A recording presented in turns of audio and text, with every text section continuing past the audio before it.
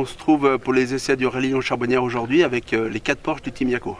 Oui, les 4 Porsche effectivement, euh, avec le beau temps, sur les bords du lac du, du Bourget. Donc on est vraiment euh, aujourd'hui presque au complet. On a avec nos 4 Porsche.